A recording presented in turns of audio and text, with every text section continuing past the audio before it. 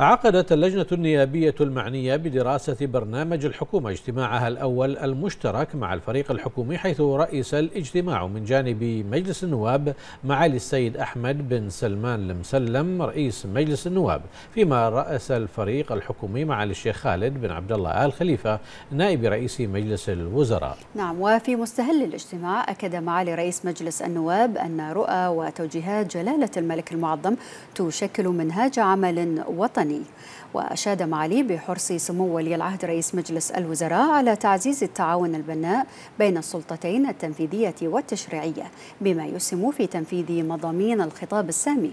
مثنيا في الوقت نفسه على ما تضمنه برنامج الحكومة 2023-2026 ولفت معالي إلى أهمية نتائج اجتماعات لجنة دراسة برنامج الحكومة للوصول إلى رؤية توافقية تصب في صالح الوطن والمواطنين.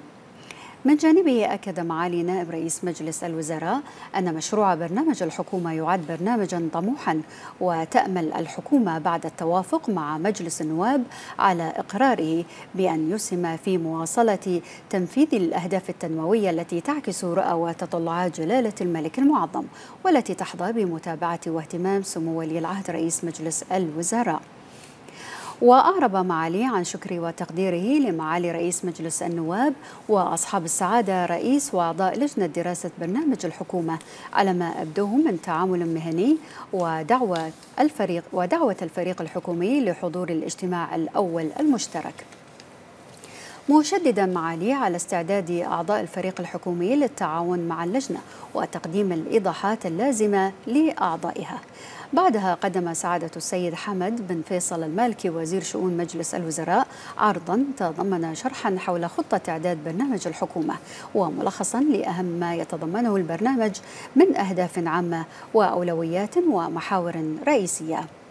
كما جرى خلال الاجتماع مناقشة البرنامج والرد على استفسارات وتساؤلات أعضاء لجنة دراسة برنامج الحكومة من قبل الفريق الحكومي.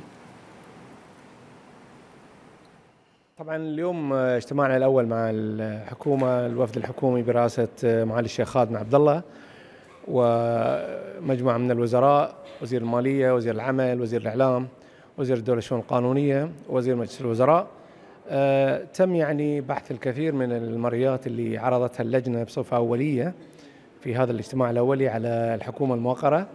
آه، طبعا آه، مرئياتنا طبعا تنحصر في أمور أساسية يتكلم عنها برنامج عمل الحكومة وهي تتعلق طبعا بقضايا التوظيف، البطالة في البحرين، الإسكان، قضايا الدين العام، قضايا الضرائب، قضايا المتقاعدين وكثير من القضايا المتعلقة أيضا بالمعاقين وقضايا الشباب، آه، قضايا يعني إعادة رفع أو تعديل سياسات الدعم بما يعني يوسع شرائح الوطنية اللي تستفيد من هذا الدعم.